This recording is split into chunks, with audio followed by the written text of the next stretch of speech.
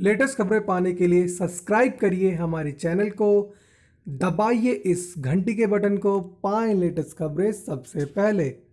मुंबई में भारी बारिश के साथ आया हाई टाइड देखें मानसून की सबसे ऊँची लहरें वायरल हुई फ़ोटो मुंबई। दोपहर एक बजकर उनचास मिनट बजे लोगों को मुंबई में करीब पाँच मीटर ऊँची हाई टाइड देखने को मिली, माना जा रहा है। इस मानसून की यह सबसे ऊँची हाई टाइड है। अचानक बदले मौसम के मिजाज के बीच मौसम विभाग ने भारी बारिश की चेतावनी दी है, जिसकी सूचना मुंबई पुलिस बीएमसी और नेवल कोस्ट गार्ड को दे दी गई है मछुआरों और लोगों को समुन्दर के पास न जाने की हिदायत दी गई है। मुंबई में कई घंटों से बारिश का कहर जारी है। ऊँची समंदर की लहरों के हाई टाइड के आने के चलते लगभग 15 मीट्रिक टन कचरा समुद्र के किनारे के इलाकों और सड़कों पर फैल गया, जिसके कारण बीएमसी कर्मचारियों को काफ़ी दिक्कतें उठानी पड़ी। शनिवार को हुई बारिश के दौरान इस मानसून का सबसे ऊँचा हाई टाइड रिकॉर्ड किया गया।